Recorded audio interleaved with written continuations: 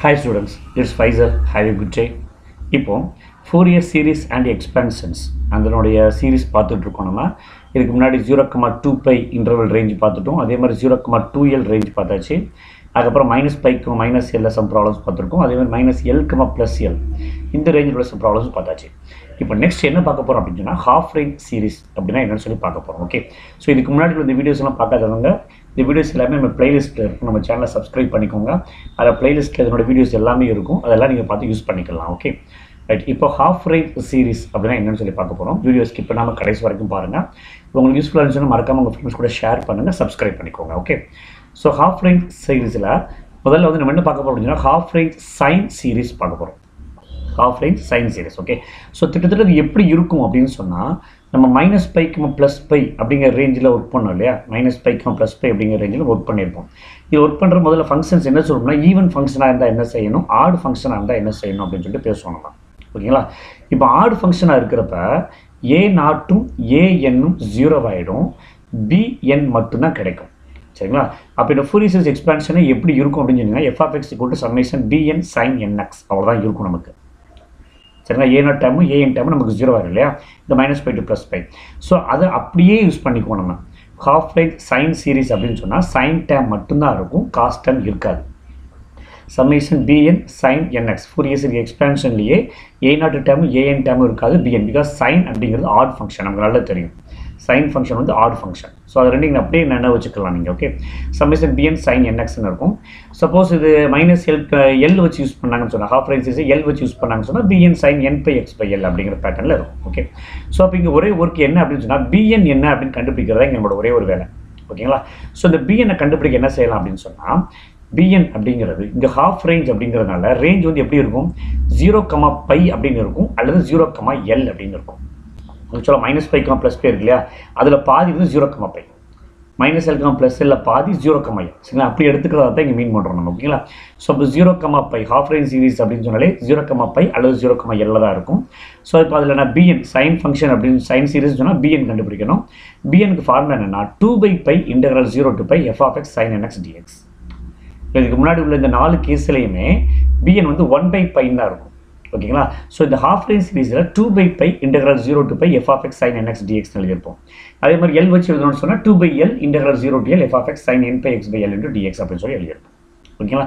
So இவ்வளோ தான் half range sine series இதே மாதிரி கொசைன் சீரிஸ் போகணும்னு சொன்னால் அதில் ஏ நாட்டும் ஏஎன்எம் இருக்கும். பிஎன் டைம்ஸ் ஜீரோ ஆயிடும் நமக்கு தெரியும் காஸ் அப்படிங்கிறது கொசைன் அப்படிங்கிறது even function so even function ஆட்டோமேட்டிக்காக பிஎன் ஜீரோ ஆயிடும் இல்லையா? மைனஸ் ஃபைவ் ப்ளஸ் அந்த ரேஞ்சில் minus five plus five minus plus ரேஞ்சில் அது வந்து ஜீரோவாக ஆரம்பிச்சிடும் காசு வந்து ஈவன் அப்படிங்கிறதுனால பிஎம் ஜீரோ ஆயிடும். ஏ நாட்டு ஏஎன் மட்டும் தான் கிடைக்கும். சரிங்களா? ஸோ அங்கே ஏ நாட் ஏஎன் கண்டுபிடிக்கணும். பட் எல்லாத்துலேயுமே என்ன செய்வோம்? இந்த minus pi plus pi minus L plus L எல்லாத்துலேயுமே ஒன் பை பைன் போடுவோம். இந்த ஹாஃப் ரேஞ்ச் சீரிஸ் எல்லாத்துலேயுமே டூ பை பை அப்படின்னு சொல்லி நம்ம யூஸ் பண்ணிக்குவோம். ஓகேங்களா ரைட் ஓகே இப்போ கொஷின் பாருங்கள் ஃபர்ஸ்ட் எடுத்ததுமே ஜீரோ கமா எல்ல தான் டிஃபைன் பண்ணியிருக்காங்க find the half range sine series for f of x equal to x in zero comma L ஓகேங்களா சரி ரைட் ஓகே ஸோ இப்போ இதுக்கான சொல்யூஷன் பாருங்கள் given f of x equal to x in zero comma L கொடுத்தாச்சு. Half range sine சீரிஸ்ன்னு கேட்டிருக்காங்க. So the Fourier series expansion is அதாவது half range Fourier series expansion நீங்கள் எழுதிக்கலாம்.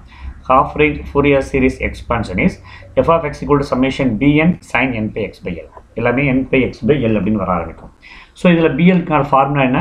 Two by L integral zero to L f of x sine n pi x by L into d x ஓகேங்களா so இப்போ இந்த two by L அப்படியே வச்சுக்கிட்டு zero to L range அப்படியே இருக்கட்டும். F of எக்ஸுக்கு பதிலாக நம்ம கொடுத்துருக்கிற டேம் எக்ஸ் அதை சப்ஸ்டியூட் பண்ணிக்கலாம். Sine n pi x by L d x okay fine இப்போ இந்த லெஃப்ட் ஹேண்ட் சைடு கிடையாது. இது கிடையாது. ஓகே இது மட்டும்தான். ஸோ இங்கே பாருங்கள் அப்போ இது யூவி மெத்தட் யூஸ் பண்ணணும்னு சொன்னால் இது எக்ஸை வந்து யூன்னு எடுத்துக்கணும். Sine n x by L இருக்கு இல்லையா? அதை வந்து வின்னு எடுத்துக்கணும். ஓகே ஸோ இந்த எக்ஸை வந்து யூன்னு எடுத்துக்கணும். இந்த sine n pi x by எல்ல வி அப்படின்னு எடுத்துக்கணும். அப்போ u equal to x v equal to sine n pi x by L so அப்போ யூ டிஃப்ரென்ஷியேட் பண்ணோம்னா u dash equal to one எக்ஸை ஒன்ஸ் டிஃப்ரென்ஷியேட் பண்ணால் ஒன்று அகைன் டிஃப்ரென்ஷியேட் பண்ணால் ஜீரோ ஆகிடும் ஓகேங்களா ஸோ இப்போ அதே மாதிரி வியை இன்டகிரேட் பண்ணணும். ஸோ வி ஒன் என்ன ஆகும் நமக்கு தெரியும். சைன் இன்டகிரேட் பண்ணால் மைனஸ் காஸ் சைன் இன்டகிரேட் பண்ணால் ஒரு மைனஸ் காஸ் ஓகேங்களா ஸோ அப்போ இங்கே ஒரு மைனஸ் வழியில் வரும். சரிங்களா மைனஸ் போடாமல் இருக்குது. ஒரு மைனஸ் வெளியில் வரும். Minus L minus cos n pi x by எல்னு வந்துடும் பை ஒரு என் பை பை எல் வரும் இல்லையா? அதை ரெசிப்ராக் எடுத்தோம்னா எல் பை என் பை சரிங்களா? ஸோ இந்த மாதிரி நிறைய கணக்கு நம்ம ஜீரோ டூ எல் மைனஸ் இருக்கிற ப்ளஸ் எல்லாம் சால்வ் பண்ணியிருக்கோம். அந்த ப்ராப்ளத்தை பார்த்தீங்கன்னா இது எப்படி அப்படின்னு கிளியராக தெரிஞ்சிடும் இந்த எக்ஸோட கோஎஃபிஷியன் ஒரு டினாமினேட்டில் வரும். அதை ரெசிபரல் எடுத்தோம்னா எல் பை என்பி அப்படின்ட்டு மேலே போயிடும். ஓகேங்களா ஃபைன் இப்போ அது அகைன் நான் இன்டகிரேட் பண்ணேன் அப்படின்னு சொன்னால் அந்த மைனஸ் அப்படியே கண்டினியூ ஆகும். இந்த எல் வந்து L square n square pi square அப்படின்னு ஆகிடும் சைன் வந்து காஸ் காசை இன்டகிரேட் பண்ணுறப்ப சைன் ப்ளஸ் சைன் காசை இன்டகிரேட் பண்ணால் plus sine n pi x by L ஓகேங்களா? ஸோ பை ஒரு n pi x by L வரும். அது முன்னாடி இருக்கிற எல் பை என் பையோட சேர்ந்து L square by n square pi square ஆயிரும். இந்த மைனஸ் இங்கே போட்டுக்கல இந்த மைனஸ் அப்படியே இங்கே ரிட்டைன் ஆகும். இந்த மைனஸ்க்கு ஸ்கொயர் கிடையாது. சரிங்களா? இன்னொரு மைனஸ் கிடைக்கல. இன்னொரு தடவை இன்டெகிரேட் பண்ணுறப்ப இன்னொரு மைனஸ் நமக்கு கிடைக்கல. பட் ஒரு எல் ஒரு என் ஒரு பை கிடைக்குது. அதுக்கு மட்டும் தான் ஸ்கொயர் வருமே தவிர மைனஸ்க்கு ஸ்கொயர் வராதுங்க. ஓகே ஃபைன் இப்போ நம்ம இது அப்புறம் சேர்த்துலன்னு சொன்னால் மெத்தட் படி என்ன ஒன்று நமக்கு? இன்டக்ரல் இன்டக்ரல் மெத்தட் படி b n equal to b n equal to already வெளியில் ஒரு டூ பை எல் இருக்குது மேலே இன்டர்வல் பாருங்கள் வெளியில் ஒரு டூ பை எல் இருக்குது அதே டூ பை எல் இங்கே நான் யூஸ் பண்ணிட்டேன். அதே two by L okay so இப்போ உள்ளே பார்த்தீங்கன்னு சொன்னால் யூ வி ஒன் யூஸ் பண்ணணும் இல்லையா? ஓகேவா ஸோ இடையில ஒரு லைன் மிஸ் ஆகுது. நான் அதை மேலே எழுதிக்கிறேன் ஓகே ஃபைன் அது அப்படின்னு சொன்னால் பிஎன் ஈக்குவல் டு நம்மளோட மெத்தட் படி யூவி ஒன் இதுக்கு அடுத்த ஒன்று எழுதிக்கணும் இல்லையா? ஸோ ஒரு டூ பை எல் வெளியில் இருக்குது. யூவி ஒன் யூ வந்து எக்ஸு வி ஒன் வந்து minus L by n pi cos n pi x by L ஓகேங்களா? ஸோ இந்த மைனஸ் எல் பை என் பைக்கும் ஒரு ப்ராக்கெட் போட்டிருக்கணும். ரைட் யூ வி ஒன் முடிஞ்சுது. மைனஸ் யூ டேஷ் வந்து ஒன்று v two minus L square by n square pi square sine n pi x by L வந்திருக்கணும். So range வந்து zero to L ஓகேங்களா?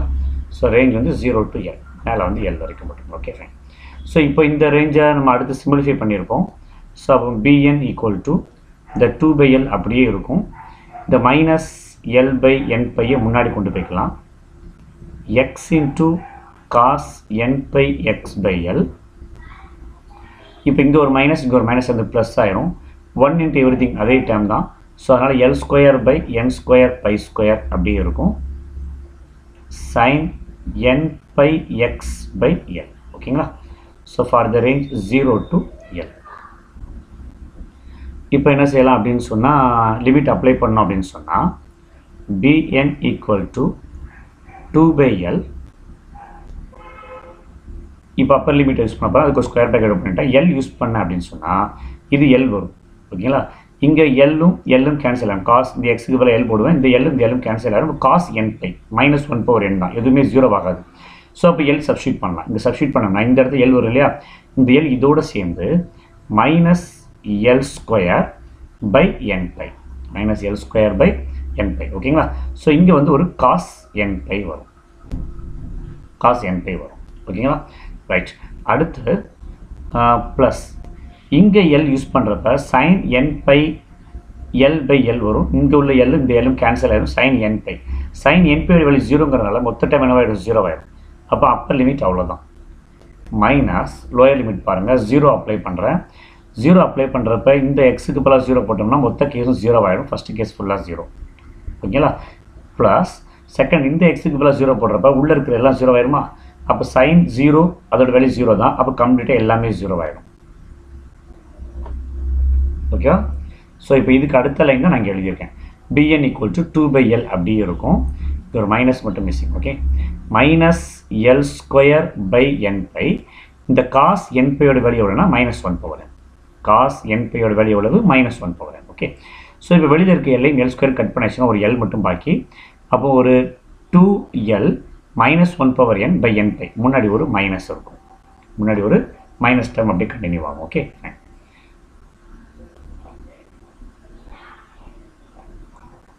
Okay அதெல்லாம் அதை தான் திரும்ப ரீகன்டினியூ பண்ணி இந்த சைடு கரெக்ட் பண்ணி எழுதியிருக்கேன்.